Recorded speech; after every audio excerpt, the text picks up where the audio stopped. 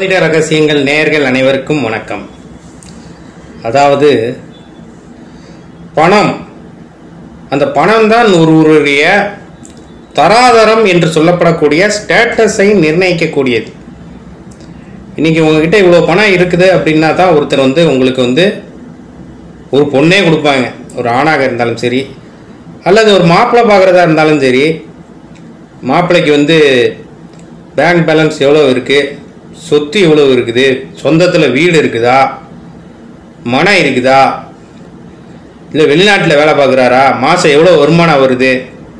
அப்படிங்கிறது அவர் கருப்பா சிவப்பா அதெல்லாம் அடுத்த கட்டம்தான். முதல்ல அவர் எவ்வளோ ரூபா பெருமானம்? இதைத்தான் இன்றைய கலிகாலத்தில் பார்க்கிறார்கள். அப்படிப்பட்ட பணம் தான் வந்து ஒருவருடைய உறவு முறையையும் தீர்மானிக்கிறது. இன்றைக்கி வந்து என் மச்சினனுக்கு இவ்வளோ செஞ்சால் நான் அவ்வளோ செய்வேன். என் மாமனுக்கு இவ்வளோ செஞ்சால் நான் அவ்வளோ செய்வேன். இல்லை மனைவிக்கு இவ்வளவு நகை போட்டால் மாமனார் அவ்வளோ இது பண்ணுவார். எல்லாமே வந்து ஒரு எதிர்பார்ப்போடு தான் உறவு முறைகள் நண்பர்கள் ஆகட்டும் அல்லது இந்த சமூகமே இருக்குது அரசியல்வாதிகளே ஆகட்டும் ஓட்டு போட்டால் மக்களுக்கு வந்து இதை செஞ்சால் ஓட்டு கிடைக்கும். மக்கள் என்ன எதிர்பார்க்குறாங்க? எங்களுக்கு ஏதாவது செஞ்சீங்கன்னா உங்களுக்கு நாங்கள் ஓட்டு போடுவோம். இது கிவ் அண்ட் டேக் பாலிசி மாதிரியான விஷயம்தான். பண்டமாற்று முறை என்று என்று மாறியதோ அன்றிலிருந்தே பணத்துடைய வேல்யூ அப்படிங்கிறது ஒரு மனிதனின் வேல்யூவோட அதிகமாக போய்விட்டது. பணம் என்பது எப்பொழுதும் செல்லா காசாக ஆக வேண்டியது. ஆனால் மனிதன் அப்படி அல்ல. மாறிக்கொண்டே இருக்கக்கூடிய அந்த பணம் டிமானிசேஷனில் வந்து பணம் வந்து செல்லா காசாச்சு. ஆனால் மனிதன் வந்து தான் உயிருடன் இருக்கும் வரை அவன் நித்திய பூர்ணத்துவம் உடையவனாக இருக்கக்கூடியவன். ஆனால் நாம் அப்படி இல்லை. அந்த மனிதனுக்கு கொடுக்கக்கூடிய மரியாதையை விட பணத்திற்கு அதிக மதிப்பு கொடுக்கின்றோம். ஏன் அப்படின்னு பார்த்தா அதுதான் தீர்மானிக்குது.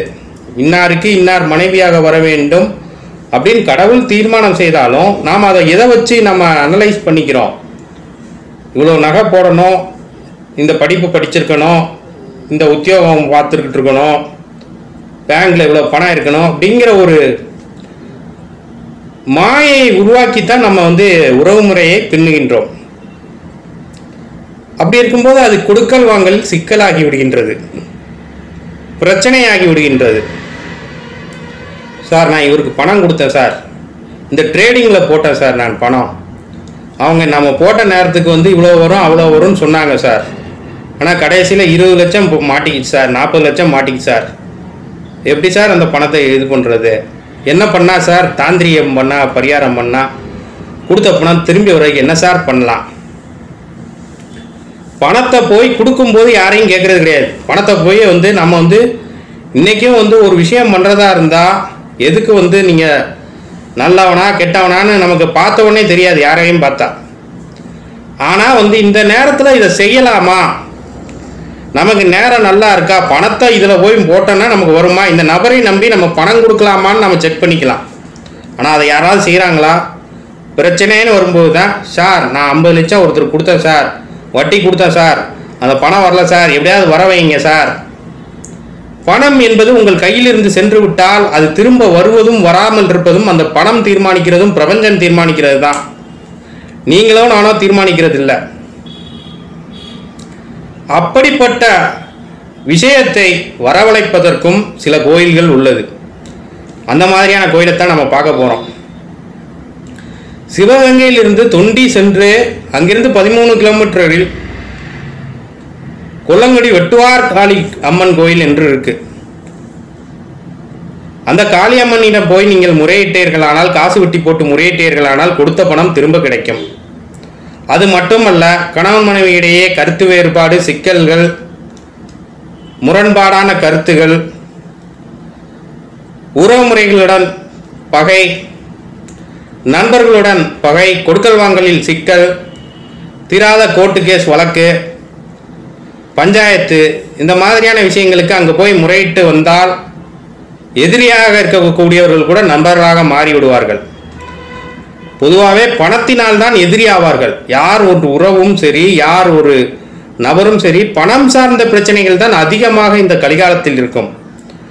அப்படிப்பட்ட விஷயத்திற்கு சரியான தீர்வு அந்த வெற்றுடையார் காளியம்மன் கோயில். இது ஒரு நேர்மையான பரிகாரம் தான்.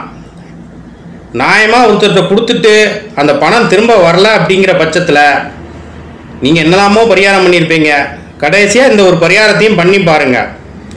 கண்டிப்பாக மனசார நம்பிக்கையோட தெய்வ நம்பிக்கையோட கடவுள் நம்பிக்கையோட நீங்கள் இதை பண்ணீங்க அப்படின்னா உங்களுக்கு அந்த கடவுள் வழிவகுப்பாள் அந்த காளி உதவி செய்வாள்.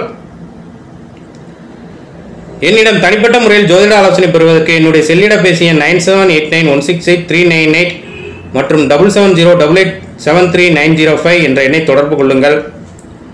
பணவளக்கலை வகுப்பு நேரடியாகவும் வாட்ஸ்அப் வாயிலாகவும் எடுத்துக்கொண்டிருக்கின்றேன். விருப்பமுள்ளவர்கள் இணையலாம். சித்தர்கள் ஜீவசமாதி வழிபாடு தேடல் பயணம் தரிசனம் மற்றும் வாழும் சித்தர்கள் தரிசனம் வழிகாட்டியாகவும் வருவதுண்டு. கட்டணம் உண்டு இலவசமல்ல. விருப்பமுள்ளவர்கள் தொடர்பு கொள்ளுங்கள். நற்பவி நற்பவி நற்பவி.